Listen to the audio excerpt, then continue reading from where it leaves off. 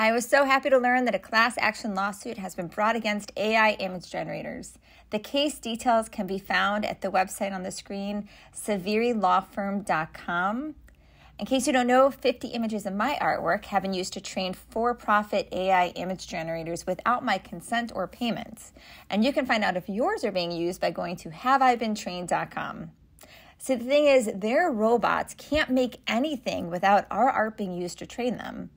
And why should I be forced to provide the core product of my business to develop the core product of another business? It's kind of like they own a buffet restaurant at the strip mall and stocked it with a bunch of stolen ingredients. Like that wouldn't be okay, so why is this okay? You know, they should have just used open source copyright free images like they did with their music generator, Dance Diffusion. Then we'd be having a very different conversation. Anyway, I'm just so happy that artists are creating a